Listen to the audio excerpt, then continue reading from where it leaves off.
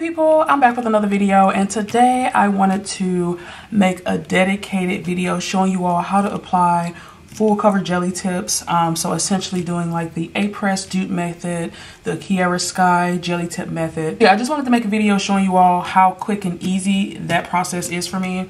So I'm gonna hop right on into this tutorial. So you do wanna make sure you have a mini LED lamp. This is gonna be really important making sure you get your jelly tips adhered nice, fast, and easy. This one in particular is from Gellen, but there's tons of other kits that have like the same type of lamp. I know Beetles has one similar and a few other brands. I already have my full cover tips sized out. These are like some medium uh, stiletto tips. And so I'm gonna show you all how I apply it. I do have them already sized out from my index finger to my pinky. This makes life easier when you're wanting to just do a set really quick. First thing you're gonna wanna do is prep your natural nails. I do have a dedicated tutorial showing you all how I do my nail prep. Um, so I will link that um, in the description box. I've already done that off camera. And so now I'm going to go ahead and uh, prep my tips. So when you're prepping your tips, you want to just etch the inside of them. This step isn't really necessary, but it definitely helps with the longevity of the nails. Um, it helps that gel to really adhere to this uh, false tip. So I'm to go ahead and etch the inside of all the nails and I'll be right back.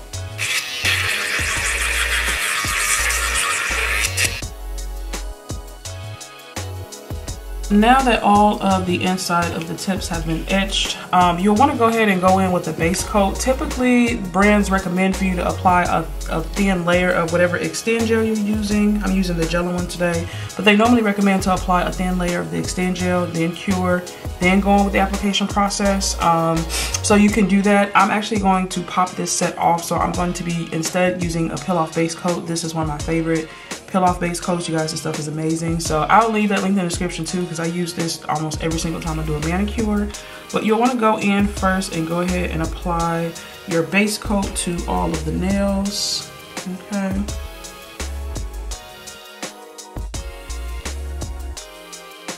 Next, you'll want to go in and start with the application process of the tips. I normally start with the index finger and work my way down and then do my thumb for very last. So each extend gel, um, I found the amount that you use inside of the full cover tip is going to depend on the viscosity of the gel. If it's thinner, um, you might have to apply a little bit more. If it's thicker, you'll probably apply a little bit less. This one's kind of in the middle no, actually this is more on the thicker side. So I noticed with this, all I need is like one quick swipe at the bottom at the cuticle and then the nail is ready to go. So I'm gonna show you all that really quick.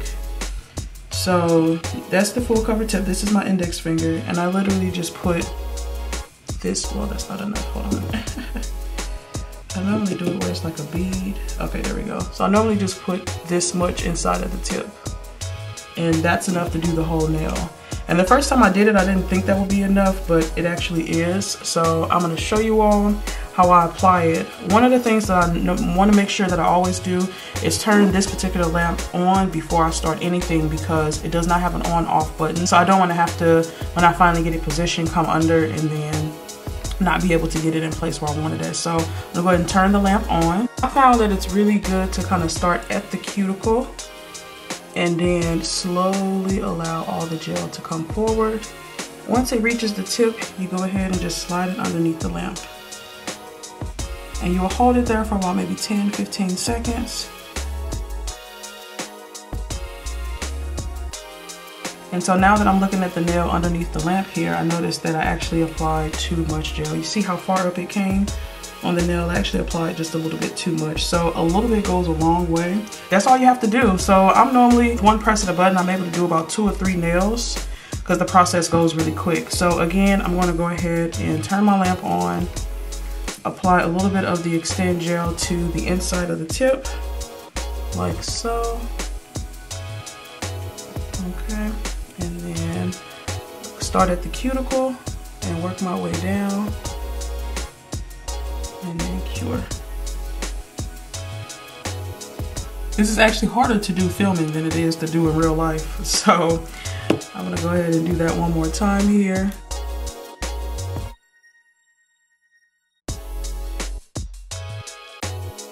Okay, so the thumb is the one that I normally have the most issues with. And someone pointed this out to me in one of my videos and I thought that was just such a great observation. My thumbnail is actually really flat and the curve of the actual tip is pretty steep. I have to apply enough extend gel to the inside of the tip to where it fills the whole thing up. So I actually on this nail, I do go ahead and kind of go over the edged area and then I just add really just extra product kind of to the middle just to make sure I have enough of that gel to fill it and then I slide off whatever's left. Now this might be too much and it might spew out the sides and that's fine because I can just clean it up. So again, you want to turn the light on here and then here, let's see if I can get it here with you guys. Start at the cuticle, work my way down and I'm gonna just work really fast and go underneath the light like so. All right, so this is a mistake that I made here, right? So it looks like I didn't add enough product to the nail. So I'm gonna see if I can pull it off without peeling off my peel off base coat and I was able to. So now I'm gonna go in and just add more of that extend gel. I did not add enough to the nail. So I'm just gonna add a little bit. I have to really fill this nail up like a lot because I don't have a curve at all to my thumb. Let's see if I have enough here. This should be enough now. And I'm gonna try that one more time. Okay. So again, I'll flip over. There we go, that's enough and then we cure. For my thumbnail, I actually keep this one under here for the full 60 seconds. And the reason I do that is because I have to add, I have to add so much gel to the nail, to the inside of the tip that if I, I find that when I try to release it any earlier than that, that sometimes, um, you know, it separates because the glue isn't, isn't cured enough. So this lamp is only so powerful, right? So I'm gonna go ahead and keep this under here for a little bit longer. Now all of the tips have been applied, okay?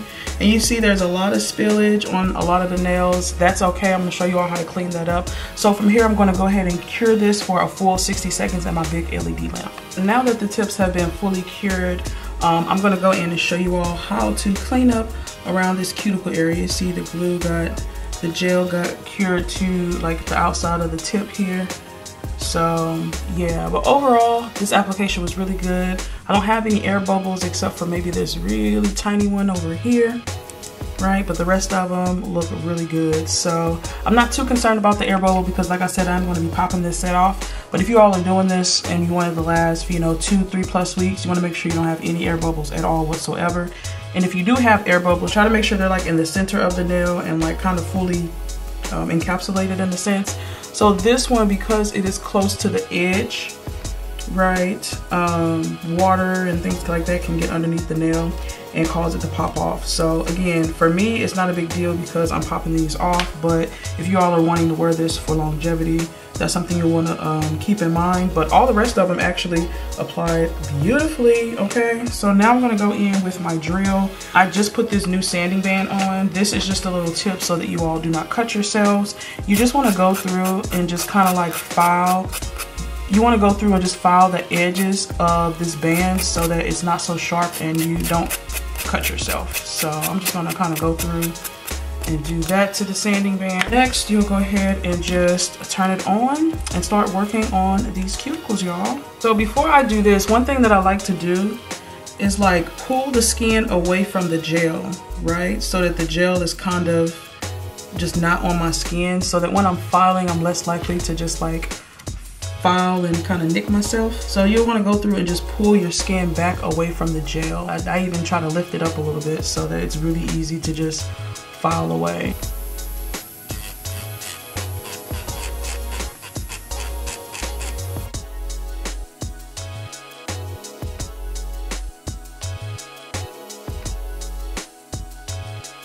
That there is all of the cuticle work that I've done so far and removing all of the gel from the nail. I'm gonna go through with my buffer here.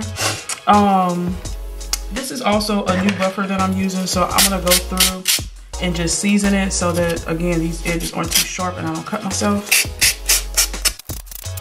So then I normally take the softer side of the buffer and I just go through and just buff the surface of the nail just to take away the shine.